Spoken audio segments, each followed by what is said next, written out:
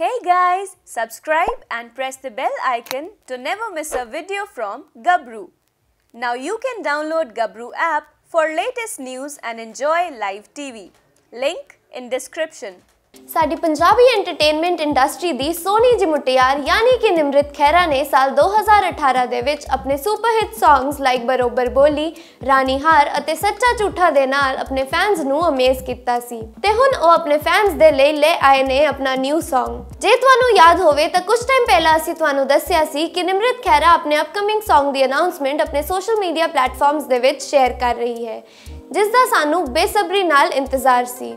ਤੇ ਹੁਣ ਸਾਡਾ ਇੰਤਜ਼ਾਰ ਖਤਮ ਹੋਇਆ ਕਿਉਂਕਿ ਨਿਮਰਤ ਖਹਿਰਾ ਨੇ ਆਪਣੇ ਅਪਕਮਿੰਗ Song ਦਾ ਫਰਸਟ ਲੁੱਕ ਪੋਸਟਰ ਸ਼ੇਅਰ ਕਰ ਦਿੱਤਾ ਹੈ ਜਿਸ ਦਾ ਟਾਈਟਲ ਹੈ ਟੋਰ। ਤੁਸੀਂ ਚੈੱਕ ਕਰੋ ਇਸ ਪੋਸਟਰ ਨੂੰ।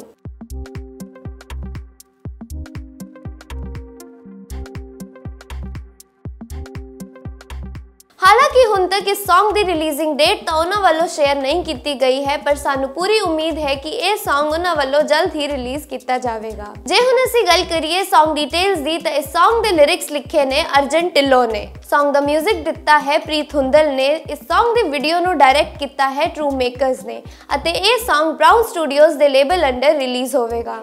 ਸਾਨੂੰ ਤਾਂ ਬੇਸਬਰੀ ਨਾਲ ਇੰਤਜ਼ਾਰ ਹੈ, ਨਿਮਰਤ ਖਹਿਰਾ ਦੇ Song ਟੌਰ ਦਾ। ਤੁਸੀਂ ਇਸ Song ਦਾ ਕਿੰਨਾ ਇੰਤਜ਼ਾਰ ਕਰ ਰਹੇ ਹੋ ਤੇ ਤੁਹਾਨੂੰ ਇਸ Song ਦਾ ਪੋਸਟਰ ਕਿਵੇਂ ਦਾ ਲੱਗਿਆ ਸਾਨੂੰ ਕਮੈਂਟ ਸੈਕਸ਼ਨ ਦੇ ਵਿੱਚ ਜ਼ਰੂਰ ਦੱਸਿਓ। ਬਾਲੀਵੁੱਡ ਤੇ ਬਾਲੀਵੁੱਡ ਦੀ ਇੰਟਰਸਟਿੰਗ ਨਿਊਜ਼ ਦੇ ਨਾਲ ਜੁੜੇ ਰਹਿਣ ਲਈ ਸਾਡੀ YouTube ਚੈਨਲ gabru.com ਨੂੰ ਸਬਸਕ੍ਰਾਈਬ ਕਰੋ ਤੇ ਥੱਲੇ ਦਿੱਤੇ ਬੈਲ ਆਈਕਨ ਨੂੰ ਨੋਟੀਫਿਕੇਸ਼ਨ ਦੇ ਲਈ ਜ਼ਰੂਰ ਪ੍ਰੈਸ ਕਰੋ। ਬਹੁਤ ਇੰਪੋਰਟੈਂਟ ਸੂਚਨਾ। ਬਾਲੀਵੁੱਡ ਤੇ ਬਾਲੀਵੁੱਡ ਦੀਆਂ ਲੇਟੈਸਟ ਅਪਡੇਟਸ ਵਾਸਤੇ ਪੰਜਾਬ ਦਾ ਪਹਿਲਾ ਪਾਕਟ ਟੀਵੀ ਤੇ ਗੱਭਰੂ ਲਾਈਵ ਟੀਵੀ ਦੇਖਣ ਵਾਸਤੇ। ਇਹ ਹੈ ਗੱਭਰੂ ਦੀ ਮੋਬਾਈਲ ਐਪ ਹੁਣੇ ਇੰਸਟਾਲ ਕਰੋ ਗੱਭਰੂ ਐਪ ਕਰ ਲਓ ਡਾਊਨਲੋਡ ਤੇ ਐਂਟਰਟੇਨਮੈਂਟ ਇੰਜੋਏ ਕਰੋ ਲਾਈਵ ਜਿੱਥੇ ਮਰਜ਼ੀ।